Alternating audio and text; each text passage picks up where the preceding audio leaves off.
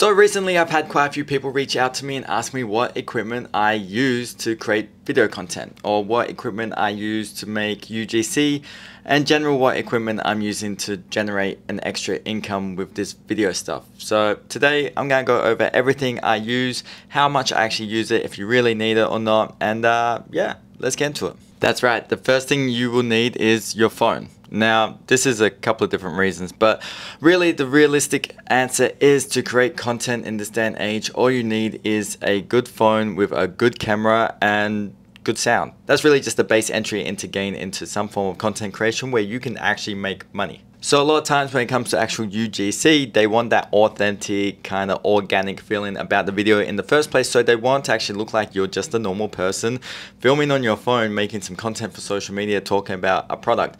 So just by having that phone, you can generate money from UGC. But along with that, you will need something like this. This there's two to these, but you will need some type of good audio. Now, these cost about $200, I think, from when I purchased them. They could be a little bit cheaper, but you can definitely get a cheaper option. You can get something like your iPhone corded earphones with the microphone. That is good enough. That will actually generate much better audio that you can encapsulate into a certain area and get rid of some background audio, and that will be perfect for that entry level UGC and even some YouTube as well. So these are the Rode Wireless Me. So they do, like I said, come with two. The whole idea of this is that you could connect it to your phone or your camera. You could actually have one connected to one person and the other connected to another. Or you could have this one set up so it's facing an opposite direction and then you're actually picking up two sorts of audio. You can separate the two microphones into two separate tracks or just have it as one stereo track. And honestly, I think these are just great. They're the USB-C chargeable and they can fit in my pocket. I can clip them on. They come with these little windbreak things. I don't necessarily need them, but I, I do use them because, you know, S's and P's, that's an audio thing. Good camera on your phone and good audio, and that is entry level, bare minimum that you need. Okay, I'm going handheld for this next bit, but the next thing you could possibly use is a tripod, especially if you're filming by yourself. You don't always want to be setting up your phone or your camera on something that's like a low level, but getting the right tripod, it just gives you a lot more versatility as far as setting your camera up in different heights, different rotations, different angles, and it also means that you can be hands-free. So in my case, I do have three. Uh, my main one is the big one that I'm showing right now. Uh, I use that with my actual camera a lot um, yeah, pretty much that just gets used with the camera. Then these two smaller ones I have. This one was originally a, a, ring light. Now what I do is I do put a different light on it, but honestly this tripod's broken I need to get a new one. But these little tripods for just setting up at home and using for like a ring light, they're actually pretty good for the price. Long term, you know, they're not gonna last, but they're, they're okay to get you started. Now recently got this one, um, a client actually sent me this. So this is a tripod selfie stick on one. And what I really love about this, as I showed in the demonstration video for that, is the head can actually rotate like 360 degrees and 270 degrees. So basically you can put your phone in and you can get these aerial shots. If you want to get product shots, if you want to get weird angles, you can do that with a tripod. This goes up to like 60 something inches height. Um, again, it's, it's pretty flimsy. It'll be good for at home but you know, if you're going somewhere with, uh, you know, you're going to a business with a client, not going to look the best channel with these. But also, you can never kind of have enough tripods when it's coming to cameras and lights and all that stuff. So yeah, tripods would be your next best bet. I would say invest in a decent one, especially if you're going to get to a point where you're using a camera. Uh, and then there's little accessories you can use to actually connect your cameras, phones, all that type of stuff. It, it kind of like, it will keep adding up. Okay, next up you will want some lighting. In this case, what I'm using are these little LED square things. What I do like about them is they are changeable so you can actually, you can completely customize your color on a RGB scale and then you have a bunch of different effects you can do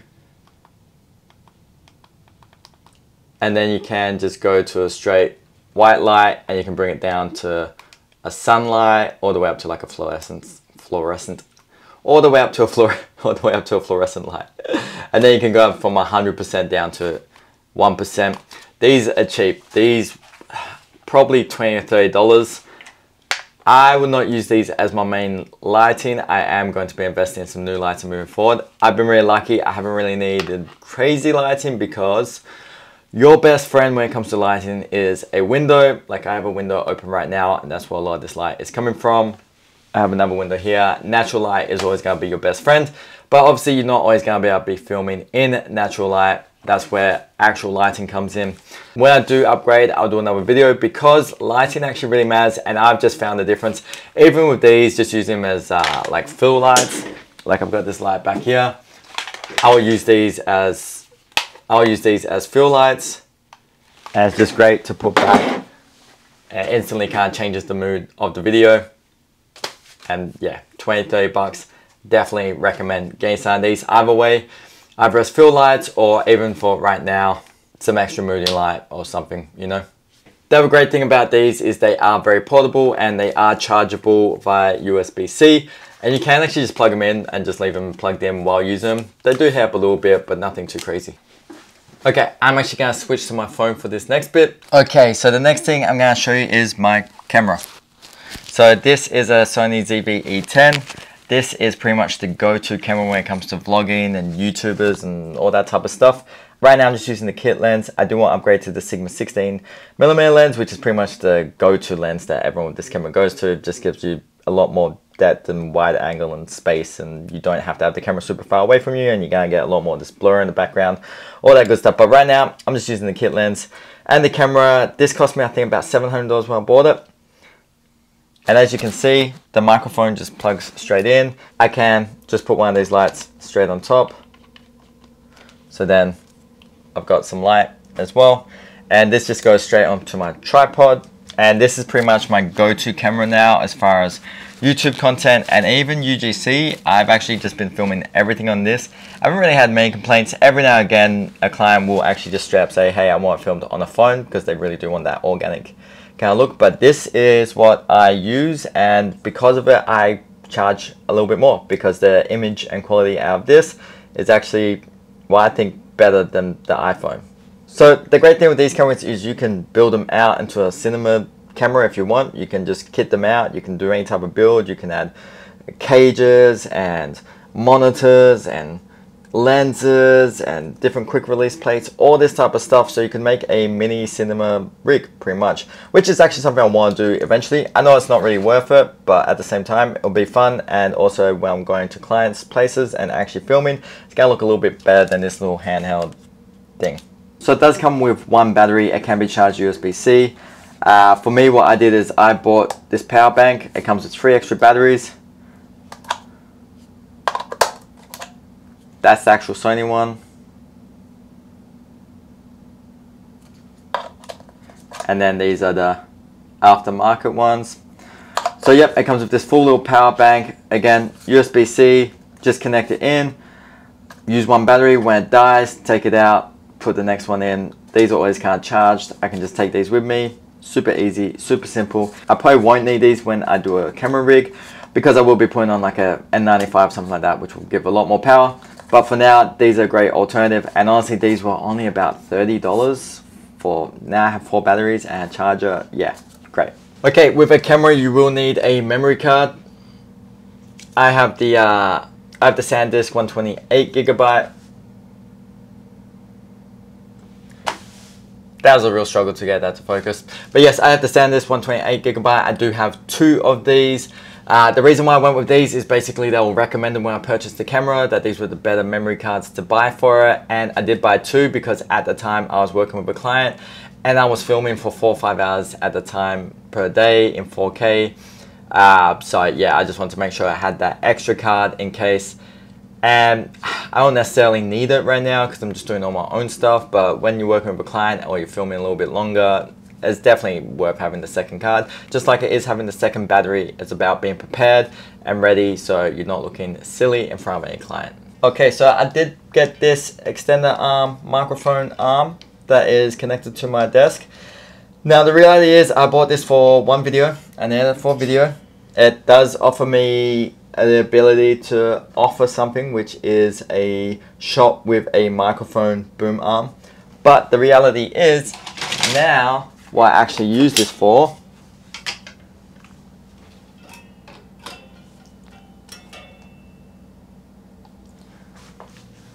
is to hold my light when I am filming right in front of my computer. So definitely can be versatile with what you're using this stuff for. In this case, it's not necessary. I am using it though for lighting and to be able to offer those scenes where I've got a microphone in front of my face on a boom arm. So this is something I'm actually working on and building right now. It's meant to be a light box. Um, so I can start taking some photos for some products and stuff like that. I'm just putting it together right now. I, am literally making it up as I go. I just figured we're having some white card um, and create a box. I can obviously use these lights I have to create a good light source. And then and then basically I can just get different card stock and uh, I have to work out how to attach it. Maybe some type of clothes pegs or something.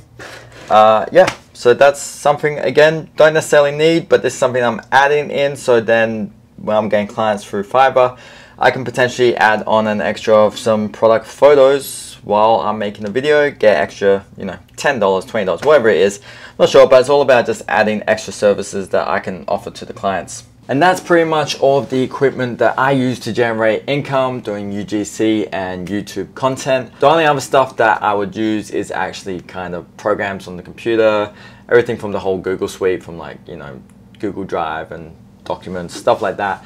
Uh, and then editing software. So on my phone, I use CapCut. This is probably all you need to do UGC, to be honest. If you can learn CapCut, it's actually a pretty powerful editor for what it is. You can do it on the phone, you can do it on your computer. You can actually kind of link your accounts and have like a cloud service so you can upload your project onto a cloud surface and then have someone else, I'm saying surface, it's their service. You can upload it onto a cloud service and then work on it, you know, from different locations.